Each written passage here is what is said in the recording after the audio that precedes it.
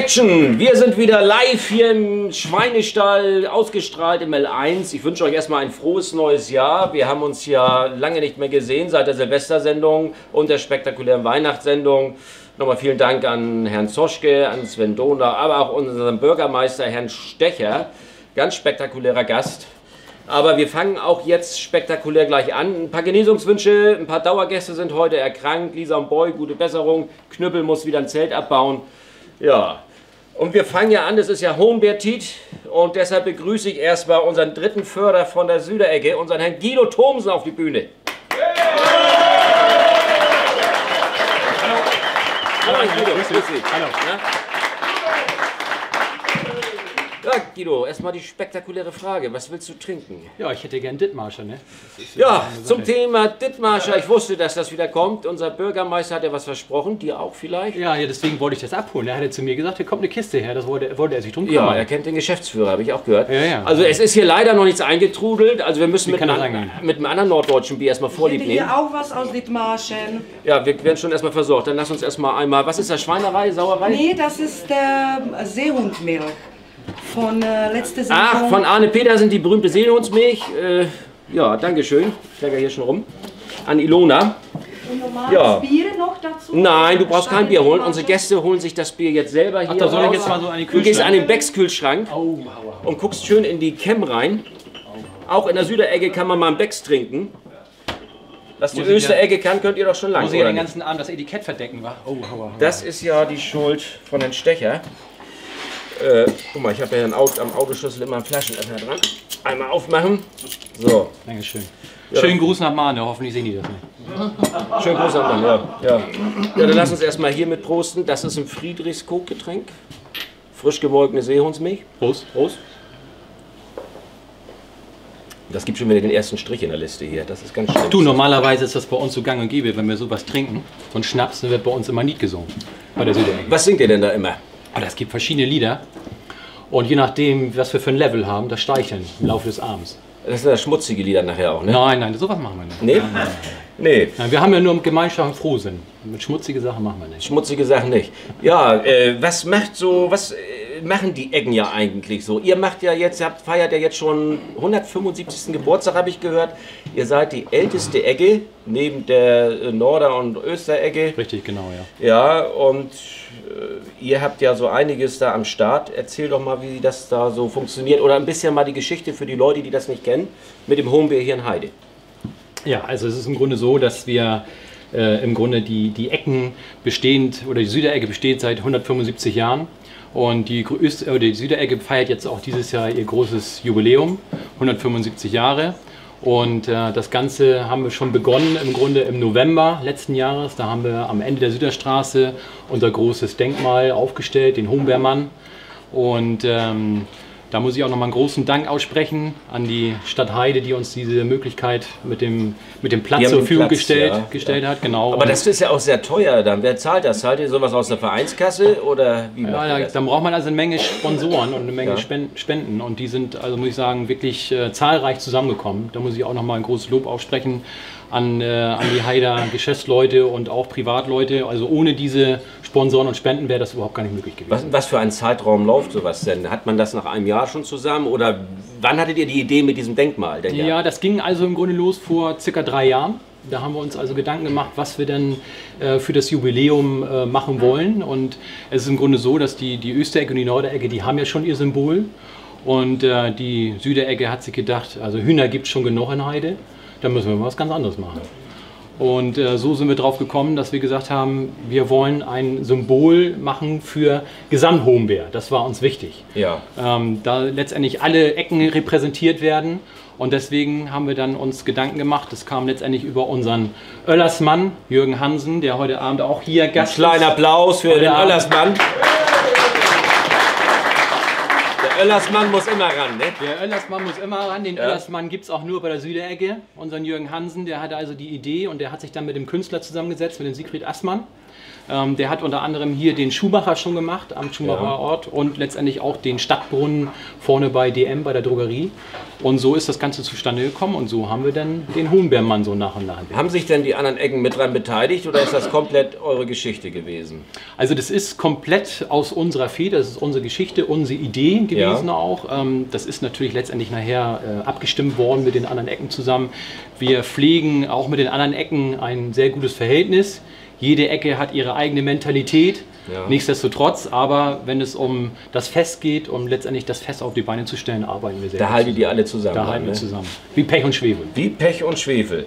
Ja, Mensch, das ist doch mal eine äh, schöne Geschichte. Mensch, ich komme vor lauter Fragerei. Ja, Zum dann Trinken. mal Prost hier. Mensch, ne? wir, wir trinken ja viel zu wenig. Prost. Das geht gar nicht. Ja, es gibt da so einen Spruch, wenn im Februar die Lerchen singen, wird's uns Frost und Hohenbeer bringen. Es ist ja immer sehr frostig zu der Zeit und ihr müsst ja auch boseln, wie die anderen Ecken auch. Ihr habt ja, die, die Kretler gibt es ja in auch in jeder Ecke, bei euch ja Genau, auch. richtig, Ein genau, Oberkretler und gibt es auch einen Unterkretler? Nee, einen Oberkredler haben wir nicht. Bei uns ist es ein bisschen anders. Wir haben den ersten und den zweiten Kredler und das sogar zweimal. Kling, kling. Oh, Ilona ist wieder da. Ein kleiner Applaus für Ilona von Eins, die gute Fee. Ja, danke schön. Ilona, willst du noch mal zwei Aus Gläser mitnehmen? Hauseigene Küche L1. Das sieht ja so versoffen bei uns aus, Guido. Das ist ja schlimm. Aber normalerweise müssen wir jetzt auch mal einen singen, ne? oder? Lass uns einen singen. Da müssen wir doch einen singen. Da muss die Süderecke aber auch richtig unterstützen. Ja, da muss die? Süderecke mal einmal anstimmen. Wir sind ja dafür für musikalische Akte. Wollen wir, wollen wir, wollen wir, ich stimme mal ein, ein Happy schon, ne? Wollen wir das mal singen? Jawohl. Ja, dann mal los. Ein Happy Show, zwei kriegt wie noch, drei wie noch verdregen. Und wenn der vierte auch noch schmeckt, dann wart der fünfte gut geleckt. Hermann Lenz, es brennt die Heide. Hermann Lenz, die Heide brennt. Hermann Lenz, es brennt die Heide. Hermann Lenz, die Heide brennt. Löschen. Ah, wunderbar. Danke. Ein Applaus. Schön. Ja, das ist Ja, vielen Dank an die Südecke, wenn man euch braucht, ihr seid immer da. Super. Mensch, das klappt ja Ich heute wusste Abend. gar nicht, dass die Männer alle so zusammen so gut harmonieren beim Singen. Ja, immer. Nicht nur beim Singen. Aber das ist ein Ach anderes Thema. so, ihr ihr seid immer gut eingeölt, ne? Ja, ja. Also wenn das jetzt der Bürgermeister gesehen hat, dann kriegt er wie wir in den Augen und ich schätze mal, der stiftet euch bestimmt auch eine Kasten Dittmarscher mal. Ja, das wäre ja mal ein Ding. Fürs Ne? Vereinsheim. Das nächste Mal bei deiner Sendung muss unbedingt der Marscher hier. Ja, ja. Ähm, wo habt ihr denn euer Vereinsheim? Unser Vereinsheim ist äh, in der Meldorfer Straße, MTV Sportheim, bei Wolfgang Nordmann am Sportplatz. Ja. Und äh, was ist, wenn da einer mal Bock hat, sich da mal äh, zu melden und sagt, Mensch, habt ihr eine Jugendgruppe oder wie läuft sowas ab wie im Verein? Ihr habt da bestimmt auch Nachwuchssorgen.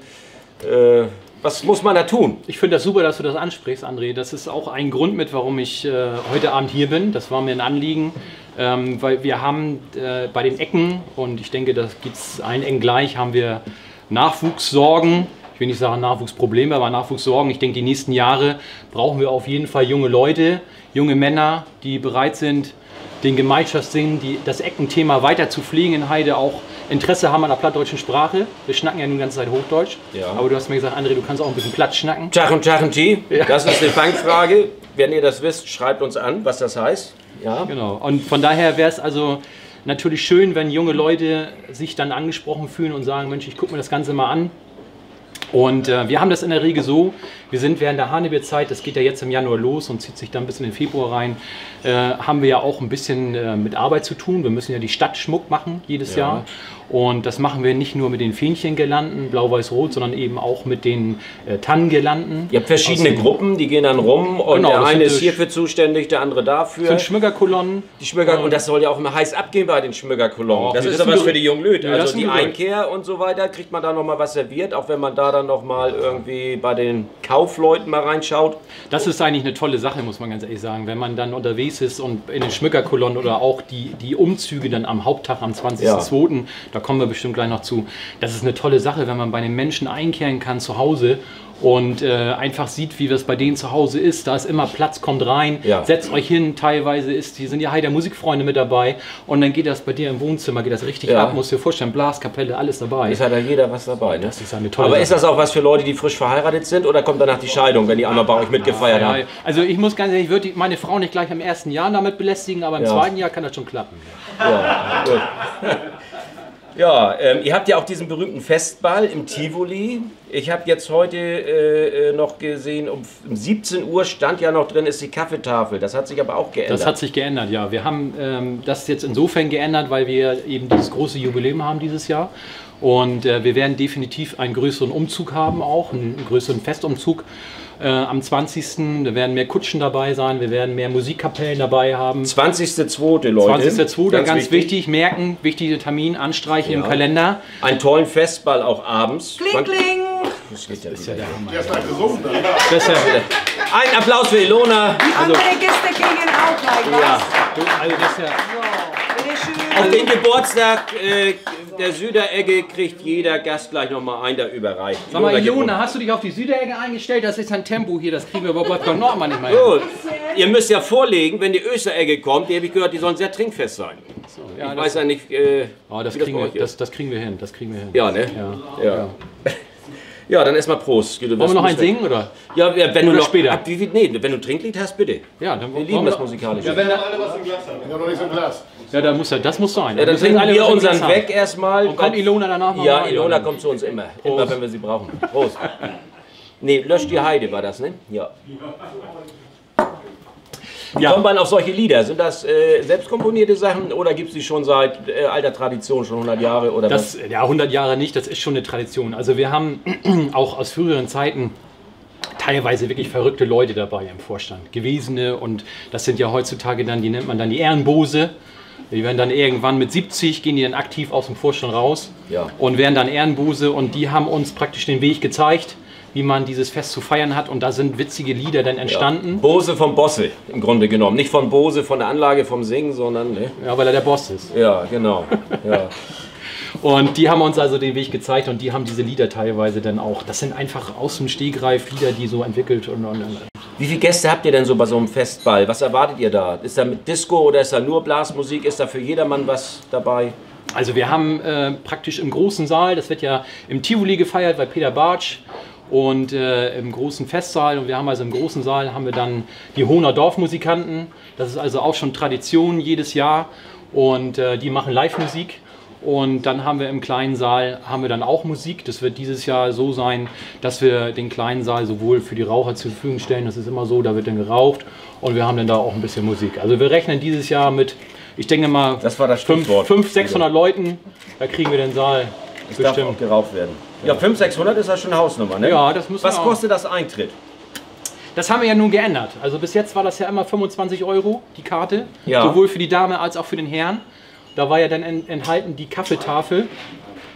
Und äh, nachmittags findet dann ja nach dem schönen Festumzug auch eine Kaffeetafel statt. Ja. Und Da darf äh, jeder mitmachen. jeder mitmachen. Es ist Oder grundsätzlich nicht mit Frauen.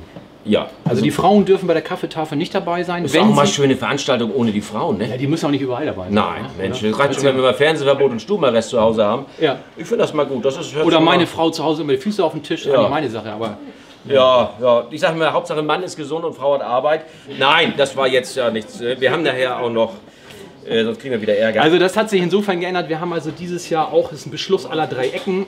Das ist ja immer so, dass äh, alles teurer geworden ist und ähm, auch die Kaffeetafel, da gibt es ja immer schön Brot und Kaffee, Ja. das ist mit dabei. Ja. Und wir haben also dieses Jahr erstmalig das erhöht. Wir nehmen 30 Euro für die Karte. 30. Und 30 Euro, darin ist also dann praktisch die Damenkarte, die Herrenkarte, da ist die Kaffeetafel mit dabei, da ist also ein Brot mit dabei und Kaffee zur Kaffeetafel und abends dann der Eintritt für den Ball. Da kommen also die Damen dann Ja. schön im Abendkleid. Wunderbar. Tolle Garderobe, Halterlose, das stelle ich mir ganz romantisch vor. Habt ihr denn da hast jetzt was zu trinken, dass wir noch mal einen singen können? Kling, kling, damit ihr anstellen Siehste, ich sag doch gerade. hoch die Tassen sagen Ja. könnt. Dilo, du kommst hier nicht trocken Die raus. anderen bekommen nächste Ja, Runde, dann, ne? dann singt doch noch mal ein Liedchen, weil wir müssen nachher noch in die Werbung, dass wir das noch mal hier durchkriegen. So, dann wollen wir nochmal singen. Ja, wenn das so ist. 2, 3, 4. Ja, wenn das so ist, dann Prosi. Ja, wenn das so ist, dann Prost. De wollen grüßen voll ungenüt, darum Blut und Süd, recht fröhlich wehen. Ja, wenn das so ist, dann Prosit. Ja, wenn das so ist, dann Prost. Prost, Prost, Prost, Prost. Ja, Ja, da muss, ich, an- da muss ich dir eine kleine Anekdote erzählen, André, mit dem Lied. Das ist ja immer so, die Süderecke, wir singen das ja richtig. Ja? Wir singen ja also immer, ja, wenn das so ist und dann Prosit und dann wollen wir praktisch auch fröhlich dabei sein. Die Österecke singt ja immer lustig.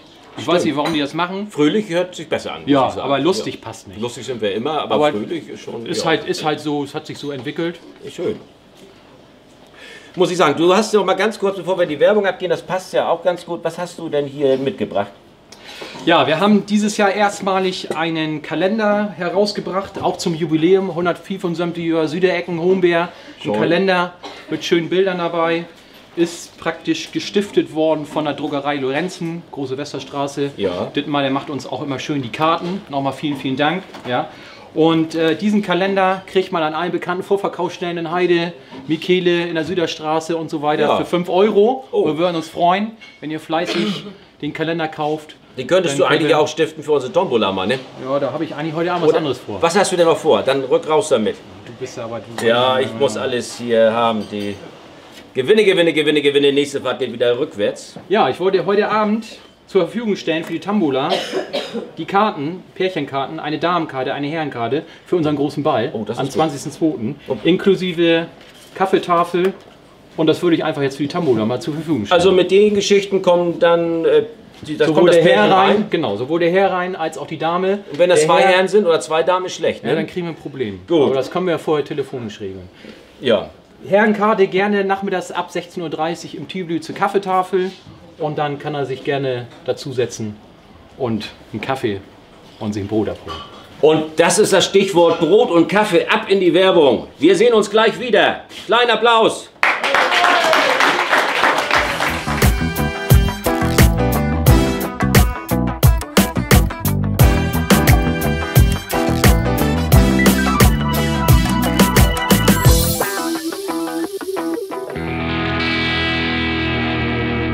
Du lebst in Dithmarschen. Du kennst dich super in Dithmarschen aus. Du kannst an drei Orten gleichzeitig sein. Du kannst gleichzeitig vor und hinter der Kamera arbeiten. Du hast tierisch Bock, Fernsehen zu machen. Wenn nur eins davon auf dich zutrifft, dann bewirb dich bei uns. Dithmarschen TV. Typisch Dithmarschen.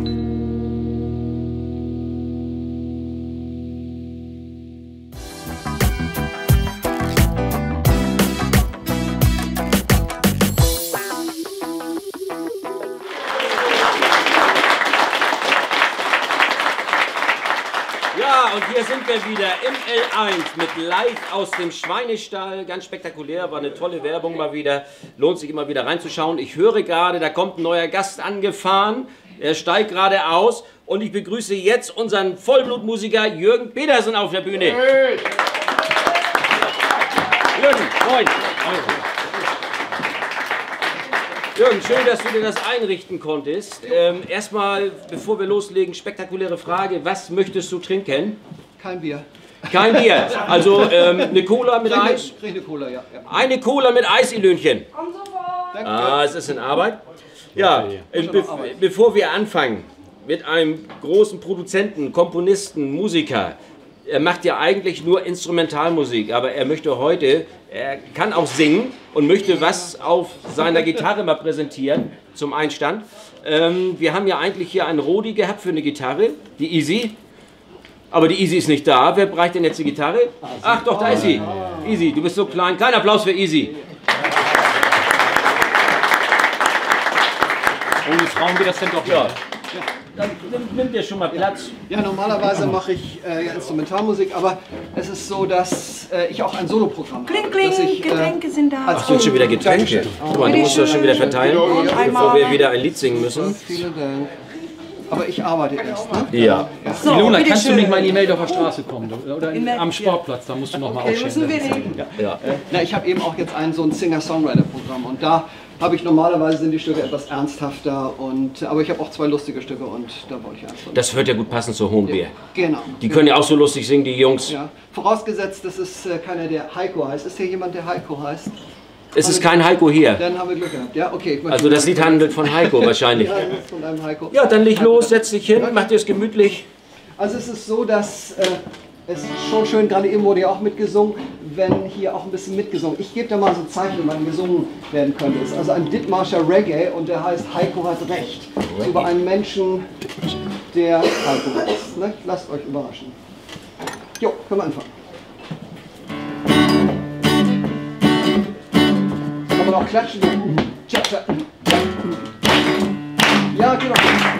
Als Heiko noch ein Baby war und mit Spinat schmiss, da hatten seine Eltern schon gewaltig vor ihm Schiss.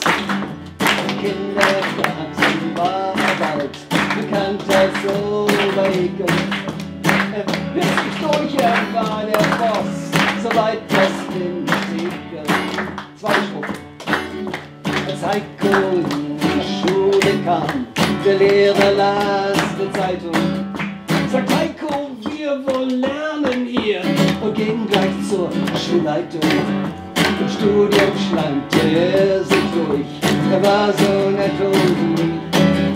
Man merkte im Examen kaum, von dem er was abschrieb. Und jetzt kommt der Refrain. Heiko, Heiko, Heiko, Heiko, Heiko, Heiko hat recht. Das kannst du drehen, wie du willst. Heiko, Heiko hat recht. Als Heiko im Beruf begann, da haut er mächtig rein. Doch nach drei, vier Tagen schon war er das Kollegenschwein. Mit Frauen hatte er's nicht so, wir haben ihn schnell geschaut. Trotz allem hatte er dann doch die vierte blonde Braut. Obwohl er ja so clever war, im Kopf hat er eine Lehre. So macht er, was er wirklich kann. Politiker, Karriere, Minister wird er bald darauf. Er hat es weit gebracht, verbreitet Angst und Schrecken pur, lässt spüren seine Macht Refrain. Heiko, Heiko, Heiko, Heiko! Heiko, Heiko hat recht. Das kannst du drehen, wie du willst. Heiko, Heiko hat recht.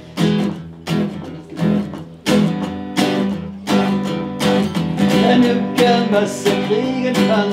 Das findet dann Verbreitung. Und so kommt, was da kommen muss. Das Leben nimmt Umleitung. Heiko ist im Ruhestand mit dicker Pension. Andere schuften lebenslang. Was kümmert ihn das schon? Als Heiko dann als Heiko dann gestorben ist, klopft er ins Himmelstor.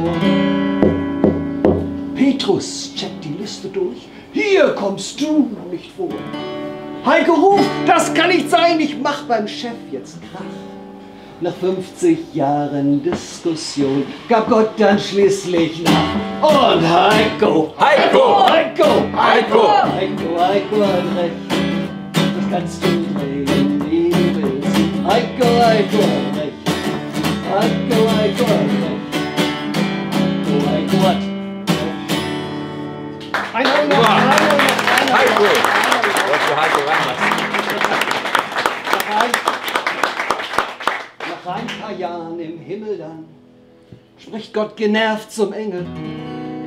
Ruf den Boss ganz unten an und schick ihm diese Bengel. Mit Satan zofft er sich enorm und haut ihm eine Delle und wird danach wiedergeboren als Guido Westerwelle.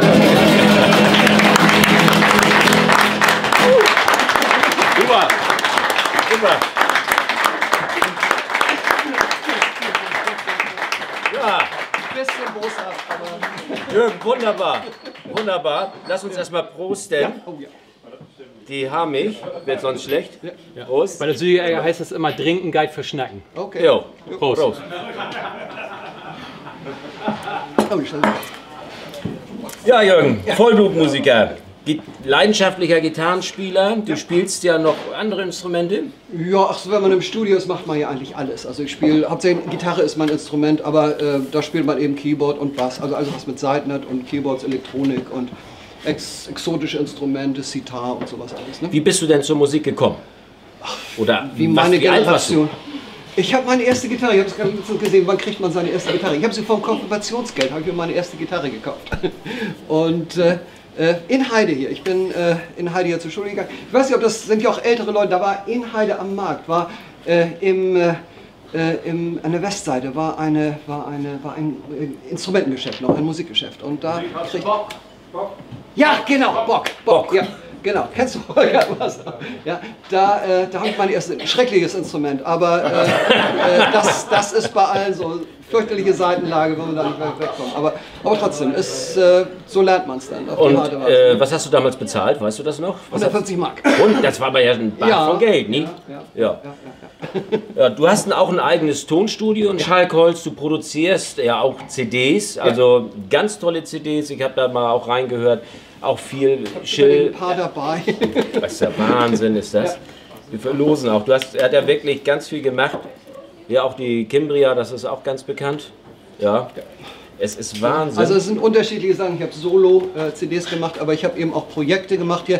Zimria ist ein Beispiel, was ich mit Stefan Borg gemacht habe. Da ist unter anderem der Produzent und seine Frau sind daran auch be beteiligt an dieser Sendung und tolles Ding. Sonst die letzten beiden Sachen habe ich mit der, mit der Gruppe Z gemacht. Das ist also ein ganz frisches Ding. Das ist im Herbst, also im September oder sowas rausgekommen, die CD. Das ist eine Gruppe, ist so, was wahrscheinlich nicht unbedingt jedermanns Sache, ist so eine Mischung von Rockmusik, Elektronik und äh, psychedelische Sachen und so etwas. Überwiegend instrumental, aber es sind auch alles, alles was ich mache, sind letztlich Pro, äh, Projekte, sind oder äh, sind bestimmte, äh, bestimmte thematische, thematische Sachen. Nicht? Also Zimbria war klar, aber hier auch Real Life Never Stops hat durchaus das, ist, äh, das wirkliche Leben hört nie auf. Das ist übrigens nebenbei, nur mal als Tipp, das ist ein ganz witziger, ich weiß nicht, ob du es mal gesehen hast, das, das, äh, ein, ein Foto, das habe ich in Kuala Lumpur gemacht, in, in Malaysia. Das ist tatsächlich eine Bahn, die führt über eine, Hoch, fährt über eine Hochbahn, da stand tatsächlich drauf, das ist von einer Lebensversicherung oder sowas, Real Life Never Stops, also das wirkliche Leben hört nie auf.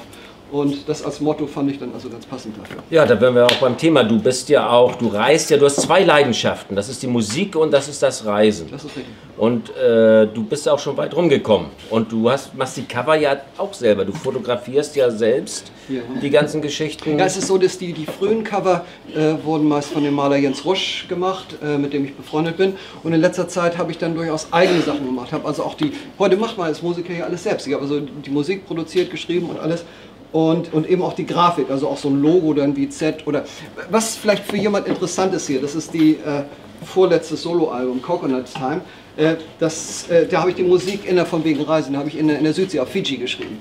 Und äh, man sieht auf dem Bild, ich weiß nicht, ob du das erkennen kannst hier, Ja. da, sieht man, da sieht man Palmen, die habe ich in Fidschi fotografiert, aber da hatte ich nicht so einen Sonnenuntergang. Da stand ich natürlich auch nicht so in der Sonne. Da sind wir an einem schönen Tag nach Büsum gegangen, haben dort, noch bevor jetzt der, diese, dieses alles neu gebaut, an dem Strand ein Foto mit Sonnenuntergang gemacht. Und äh, das wurde dann von einem Grafiker zusammengemixt. So, dass es, also das heißt, es ist die Büsumer Sonne und die Fidschis davor. Und ähm, ja. so, Das, als, so als Beispiel, da kann man Ja. also natürlich sehr Wer viel möchte, nimmt sich. ja, ja, komm, wir nehmen noch eine Seehundsmilch, die kommt aus Friedrichskoog, passt ja auch zum Büsumer Sonnenuntergang. Genau. Ich nehme aber nur einen, sonst nehme ich ja Ja, drei. dann machen wir nochmal Prost, die Heide brennt. Ne? So. Prost, die Heide brennt. Prost. Ja. Prost. Hast du gemerkt, ne? André? ja, das ist ja mal Heide und Brand, das war ja auch mal so ein Wie, wie Thema. nennt sich das noch? Seehund? Seehundsmilch. Also er gibt den Seehunden, der Arne Peters in Friedrichskoog, immer Pfirsiche zu fressen in der Seehundaufzugsstation, macht er nachts und dann melkt er sie heimlich. Und das ist das Endprodukt. Das ist ein Hammer. Ähm, sag mal, wer ist das denn da drauf? Das bin ich. Das bist du. Ja, und das ist auch die Gitarre, die ich jetzt hier gespielt habe. Die ist da. Die ist, Die ist ja da. weit gereist dann schon, deine Gitarre. Nee, die ist ja nach Büsum, ja. Ach ja, das, ja, ach so, das, du warst dann auch beim Büsumer Sonnenuntergang Ja, ja. und der Rest waren die Fidschis. Ja, genau. Ja, Aber ja. die Gitarre war nicht bei den Fidschis. Nein, da hab, ich habe immer so eine, wenn ich unterwegs bin, habe ich eine Reisegitarre mit, sodass ich auch, äh, wobei, es, wenn man viel reist, ist es nicht so gut. Ich fahre jetzt in einer Woche äh, auf eine größere Tour und da bin ich noch am überlegen, ob ich eine Gitarre mitnehme oder nicht. Ne? Und man da viel macht. Ja, äh, ja, Meditationsmusik muss ich ja auch noch mal kurz ansprechen, Ja. weil äh, da sind ja Stücke dabei, äh, das kannst du durchaus zum Meditieren nehmen. Du Ja. kannst einen plätschern Buddha im Hintergrund hören, dir die Gurkenmaske auflegen lassen. Also das sind wunderbare Stücke, da müsst ihr mal reinhören. Du hattest eben mir noch erzählt in der äh, Werbepause, was zu diesem Kalender von der Süderecke. Ja, das finde ich, finde ich also sehr schön, dass ihr das gesehen habt, weil äh, die Hähne, die dort hier auf, dem, äh, auf, der, auf der Struktur sind, die hat mein Schwiegervater gemacht. Die Hähne hat sein Schwiegervater gemacht. Ja, Und, seht ihr mal, der, bitte. Der Hohenmoker. Kleinen Applaus für deinen Schwiegervater. Applaus vor- Ja. Da sollte ich vielleicht, sollte ich, sollte ich vielleicht ergänzen, was zu erzählen. Das ist äh, die Ehrenpforte. Und da müssen, die bauen wir auch immer auf und da müssen alle Ecken durch. Ja. Süderecke, Nordecke und Österecke. Steht beim Pastorat. Und das ist wirklich ein imposantes Symbol. Ja, finde ich sehr schön. Ja, ähm, bevor wir mal nachher in die Werbung gehen, also du hast uns ja auch noch mal ein Lied passend mitgebracht, ein plattdeutsches Lied. Ja. Oh, super. Ein plattdeutsches Lied extra wegen der Süderecke Das heute. passt ja heute Abend. Genau. Ja? Äh, ja, Und- das ist das einzige Plattdeutsche, was ich gemacht habe. Äh, kann ich vielleicht kurz was dazu Ja, erzählen? Also erzähl ich hab, mal die Geschichte äh, dazu. hatte vor einer, vor einer langen Zeit mit einer Rockband diese, dieses Stück gemacht. Und Ich dann gehe jetzt. äh, mit einer Rockband das gemacht und ähm, äh, dann war ich befreundet oder bin befreundet mit, mit Stefan Borg von, von damals Godewind und da habe ich dann dieses auf äh, Plaudeutsch für Godewind umgedichtet Ja. und äh, kam dann auch in die Berücksichtigung, aber das ist nicht ganz stubenrein und Godewind wollte das etwas stubenreiner haben, nicht? also deshalb äh, Und du bringst Äh, uns die ungeschnittene jetzt die Version, singst du ungeschnittene die Version. frei ab 18 Version. ja so schlimm ist es nur auch Ach so. nicht, nicht? aber äh, das heißt Died Me Late. Müssen wir es übersetzen? Sollen wir übersetzen? Date me late? Tut mir leid heißt das für alle Ja. Zugezogenen. Und es gibt ja so Leute, die, äh, äh, die jeden Scheiß machen und dann glauben, wenn sie sich entschuldigen, ist das erledigt. Ne? Und Ja, äh, ja. über solche Leute ist das. Ja, dann schnapp dir doch noch mal die Klampe. Okay? Easy ist schon wieder irgendwie abhanden gekommen, die sehe ich hier gar nicht. Ist ja auch so klein. Ich sehe nur immer die Zeichen vom Produzenten. Der ist ganz aufgeregt. Ne? Ja, der ist ganz aufgeregt. Ich weiß auch warum.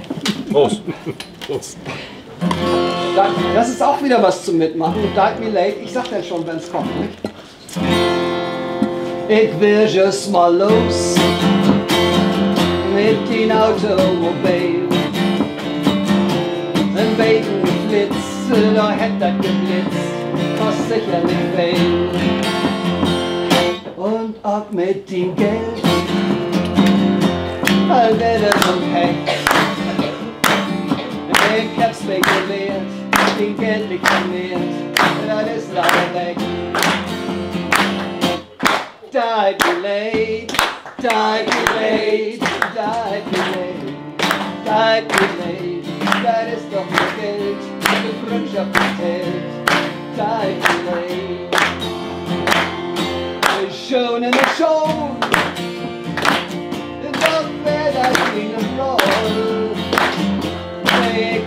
wil een clown, die hebt ze verhauen, dat weer niks verloren. Die be late, die be late, Ilona, das Date mir überlegt. die be late. Wie kennt uns so lang, da ist nie Bang. Die be late. Ook in de leer, dat valt me doch sehr. Da hab ich Missfuß und die schmiede Rut, das wär ein Malheur. Die be late, die be late, die be late, die be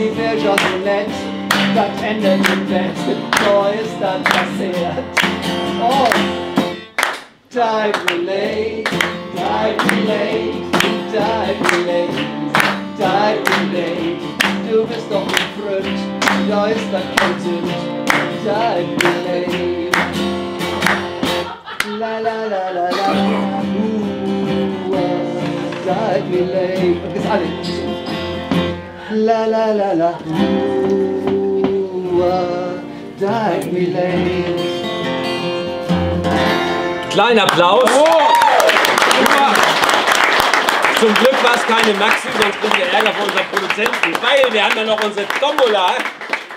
Und äh, der Eimer ist rumgegangen, wir müssen uns sputen. Ich schätze mal, wir verlosen auch mal auch eine CD, die Zimbria. Es geht hier um ein paar Preise. Ich würde mal sagen, zieh du doch schon mal einen Zettel raus, Soll ich die Augen zumachen? live. Ja Leute, kommt hierher ins L1 Ich und immer ihr gern kriegt ganz einen oben rein. Preis.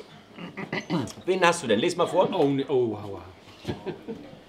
Franzi würde ich sagen. Franzi steht hier drauf. Franz oder Franzi? Haben Franzi. Franz oder Franzi? Franzi, das, das ist ja nun meine Frau. Ne? Wir müssen die Karten ja drin lassen. Das geht ja nicht. Ne?